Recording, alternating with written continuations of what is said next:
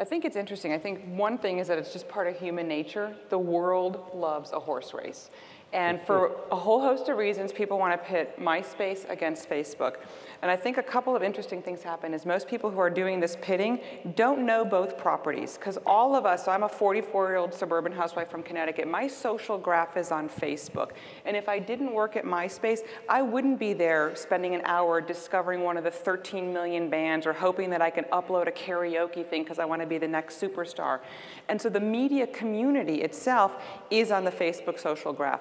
So what we've had to do is get people to understand the site and understand and get into the mind of the 17-year-old or the 18-year-old or the 22-year-old. And then very quickly the conversation changes. And I think to Jason's earlier point, um, Facebook is a fantastic communications platform, and if you think of MySpace as an entertainment experience or participatory content, which is what I love that Frank said this morning, it's a completely different behavior, and it's a completely different mindset that you're tapping into when you're a brand marketer. Hmm. You know, two points to that. First, before I got here, Nada told me she was 39. So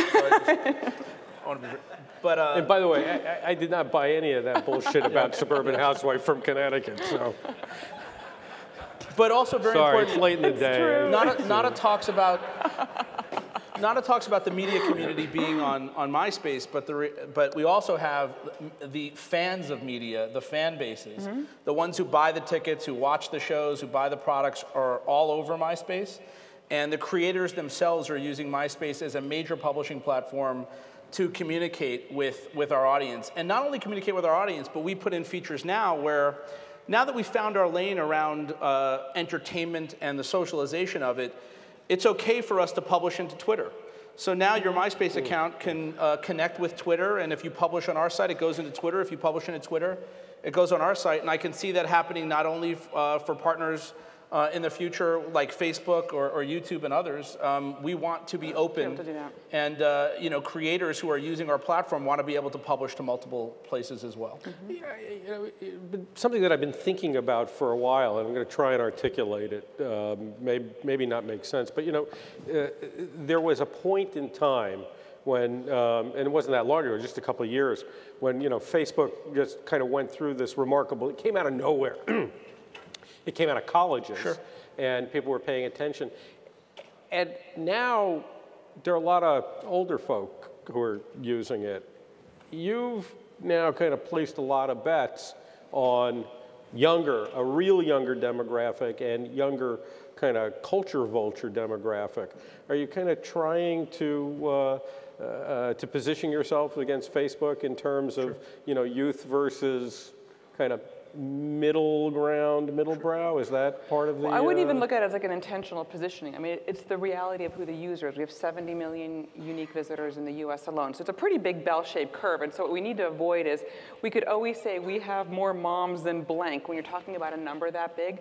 But when you talk about what users are doing on our site, and I think the discover and be discovered thing is so important, um, 13 million bands, every single major record label deal, that is just going to be attracting this particular audience because of the tools that we're giving them to be able to have this experience.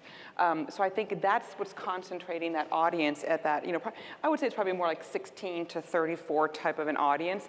Um, it is not an intentional, let's just go younger. That's the core because of what the context is of the, of the mm -hmm. service. Mm -hmm.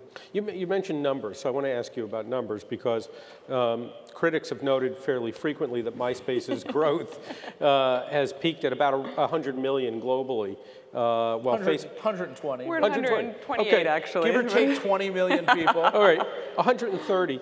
Well, you know, Facebook soared past sure. this to around 400. I, I, this is not about comparisons. Sure. Uh, this is really thinking you as a product person, you as somebody who's been imbued in the space for, yep. um, for years. What lessons have you taken away from that about why growth slowed? And, you know, looking back on it, uh, not just the lessons, but what, what kind of applications? And I'm thinking of that strategically. I, look at it, uh, frankly, straight from a, from a technology and product view, where I think uh, when MySpace, and I was very familiar with it even from my days at Viacom, when MySpace took off, it's one of the few stories you'll ever see on the internet of the true hockey stick growth of a site. Uh, and I think it's, it's very easy to Monday morning quarterback now that I'm in there, but there was not enough investment in the way that um, the platform was built out so that you could have agile development and you could continue to innovate quickly. Um, I think that uh, the interface had gotten a little stale. And you know, it, we actually looked, Mike and I, when we got in there, and, and now with Nada um, on the team, we've looked at you know sort of where some of our weak spots were, uh, and it's really around getting to market much faster, um, not going wide. Um, I think MySpace took on sort of a portal-esque type strategy before we were there, where there was weather and all sorts of things. And guess what? If you want to get the weather, don't come to us. uh, you know, but but we we streamlined the product um, and are concentrating on those kinds of innovations and really becoming an engineering focused organization more than we ever have been before. We've been put out there as media driven, and while that's a big part of our experience to the user, um, you know, engineers and product focus uh, is something that we have to you know, maintain leadership in, and it's something that we're concentrating on right now. We've just recently done a major alignment of our technology and product orgs to give a lot more control to individual managers so that they can build their product and push it out there quickly so that advertisers and users will love it. But you know, talk about, you just mentioned something fascinating.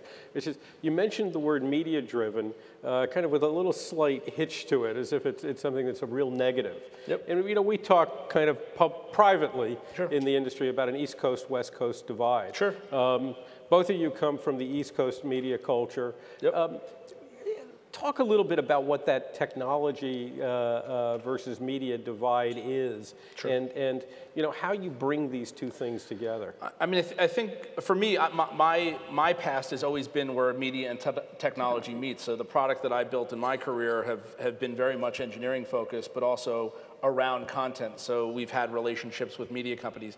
I, I think what I'm referring to is really the zeitgeist of what MySpace was portrayed as um, show business oriented and all that kind of stuff. Very true, but I think it also came at the, um, at the cost of really focusing on engineering talent. And we have offices in Seattle and San Francisco and Los Angeles and New York. Um, I actually don't see a divide in that I think we're one of the few places, and uh, would love to, you know, get Nada's point of view in this, but we're one of the few places where actually media companies, specifically those that create, feel very comfortable because we're not a vanilla right. social network or site. We're a place where content will be given care, and advertiser integration isn't just about texts uh, or performance, right. it's about true integration into the experience.